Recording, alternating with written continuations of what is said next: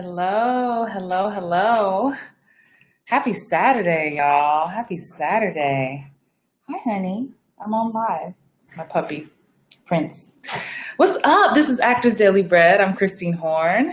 Thank you for checking in. To my replay watchers, what's up, replay watchers?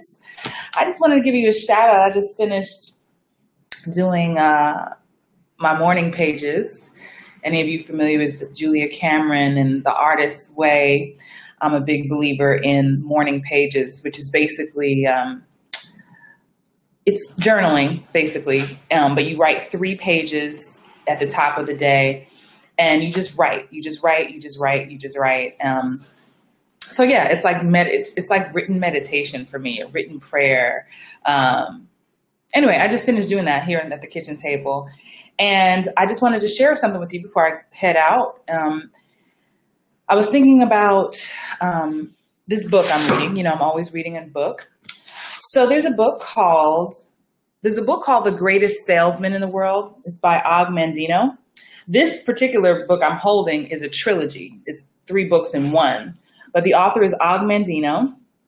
There we go. And The Greatest Salesman in the World. It's by far one of my favorite books. And at first, you're like, what what I what do I care about sales? Um, and I believe for me as a business person, I need to know about that. But it turned out not being just about that at all. Um, it's really a book about just your habits and being excellent and living a life that is purposeful, meaningful, and and so it, it talk, the book has these scrolls. It's it's written like back in the day, and there are these scrolls which are basically principles and philosophies. And so the way this book that I have, um, it suggests that you read one scroll for 30 days straight. It's 10 scrolls total, but you read one scroll each day, twice a day for 30 days, and then you move to the next one. But I'm not going deep into that. But what the scroll, I'm on scroll number one because I'm in my 30 days of that. And one thing I just wanted to share with you is a line from it and see how it resonates with you. Um, and it talks about your habits. That's really the first one. And it made me think about as actors and as, as a human being, what are my habits daily? What are the habits that I have?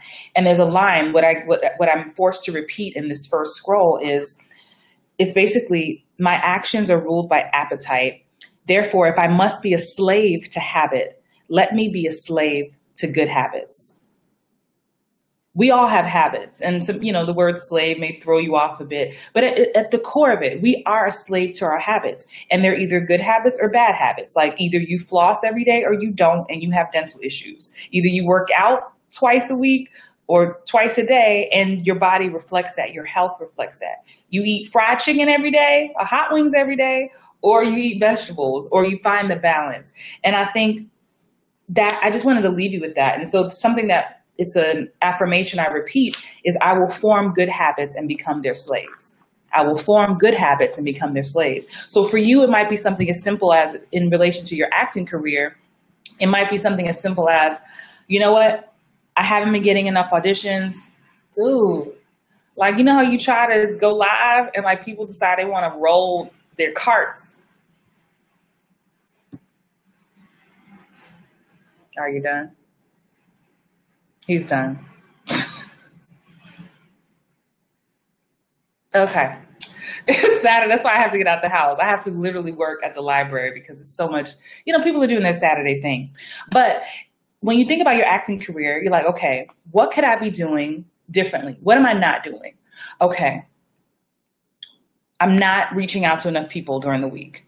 I'm not reaching out to enough casting directors. I'm not networking. I'm not practicing scripts. I'm not doing this. So that's a bad habit, right? That's what you consider a bad habit. So why, how can you replace that habit with a good habit?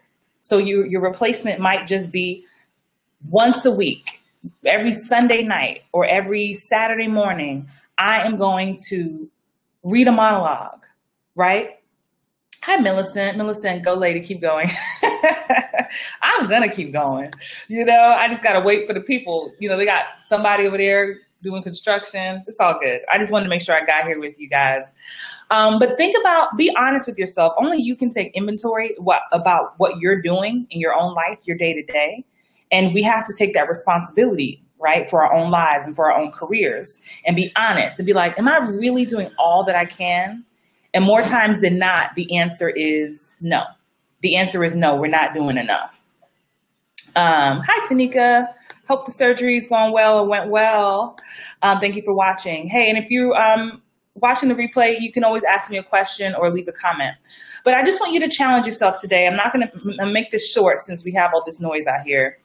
Is to think about what you can do this week coming. Maybe marinate on it tonight, marinate on it tomorrow, and be like, what can I do next week that I haven't been doing for my career or for my life? Like for me this morning, I finally got around to doing some some yoga at the house. Hang on. Can you hear me? Somebody let me know if you can hear me. Give me a thumbs up. Can you hear me? Can you hear me? I see two people watching. Can you just let me know if you can hear me so I'm not talking to myself? Somebody, somebody, let me know. All right, I'm gonna just keep talking and hope that you can hear me. Um, but that's just a challenge for the week. And so for me, I'll share my challenge with you. Uh, oh, good, good, good. Tanika, I'm glad to hear it. Um, so for me this week, for me, mine was just getting up and doing my yoga in the morning because I've been working out. I've been, I walk the dog for two miles. I go to the gym and then I get really tight. You know, I'm trying to get it, I'm trying to get that. you know the beauty is the beauty is it's it's quiet right now you know for actors just so you know june is a very quiet month you know we're post pilot season. The episodics are about to start ramping up mid to late july. So this is a great time for you to reassess. This is a great time for you to think about what can i be doing? Do i need to get in shape? Do i need to start um, working on my scene study? Do i need to work with a coach? Do i need to take a class? This is the time. This is the time. This is the time to create stuff. So I want you to know if you are not in the Hollywood Bound Actors Facebook group, I'm going to type it here Hollywood Bound Actors. Just look for Hollywood Bound Actors, just type that in the search bar and join my Facebook group because that's my group of actors. And starting, we're doing a July challenge, a content creation July challenge. I haven't even announced it in the group yet. We've been playing with the idea and I've gotten some feedback from the group, which means we're going to challenge, I'm challenging all the members of my community and I have some really highly involved members. Shout out to you guys. But we're going to create our own content for the month of July. And I can't tell you what it is. You need to join the Hollywood Bound Actors Facebook group. And I'm challenging my, my community. So I want to challenge you as well. So that's something else you can be doing. So think about your habits. Be honest with yourself. And this not doesn't have to just apply to acting, it can apply to your life. Are you drinking enough water? You know, it's getting hot out here. Hydrate yourself, flush out your toxins. You know, my old health coach is coming back in. I used to be a health coach. So flush out toxins, feel vibrant, do whatever you need to feel at your best so that you can approach this career, that you can approach the day feeling awesome and not feeling groggy and tired and irritable. Right? So like I said, I shared mine with you. You know, I like accountability. Post your comment here below. What are you going to change? What is one habit? I'm not asking you to change your whole life today, but what's one habit you think you can replace? Because we're either a slave to good habits or we're a slave to bad habits. So I would love to see your comments below, no matter when you want to put the comment in, now or later. But let me know, and I can hold you accountable. And I can be checking, hey, Tanika, did you do blank? Did you drink that extra glass of water? Or, hey, Millicent, did you memorize that monologue? Or did you do that scene study? Whatever it needs to be. Um, but we have we have habits and we have a choice. And I just wanted to share that with you. So again, um, the book, my book for today is Og Mandino's um, The Greatest Salesman in the World. You don't have to get the whole trilogy. This has three, uh, two other books involved, but The Greatest Salesman in the World. And if you are a business, if you are in business, this is, I mean, it's one, one of my favorite books. But um, you know, I am, I am kind of a, I'm kind of a geek. I love to read a lot. Anyway, I'm going to get wrapped up and go to the library where there's quiet. but have an amazing rest of the day. It's always a pleasure getting to talk to you. Tanika says I'm going to eat better. Okay, cool. Well, you make make your choice, decide what that is, and and just stick to it. Small habits equal to big changes, right? You don't have to cut everything out. You know, when I was a health coach, something we, we used to always say when I when I was in training was, we don't talk about what we can't have right? Like if you like, I want to release 20 pounds, right? I want to release 20 pounds. Oh, I can't have this. I can't have hamburgers. I can't have fries. I can't have that. And we never say what you can't have. What we talk about is what can you add in. So if I add in more greens, if I add in more uh, fruit, if I add in more water, I may not have as much room for a burger and a large fry and a Coke. You see what I mean? So no one's saying you can't have it. Go ahead and have some, but you might not be able to have as much because you've already filled your body with such great nutrients from something else. So anywho, sidebar. Enjoy your Saturday. Always a pleasure to talk to you all. Have a great day. Bye.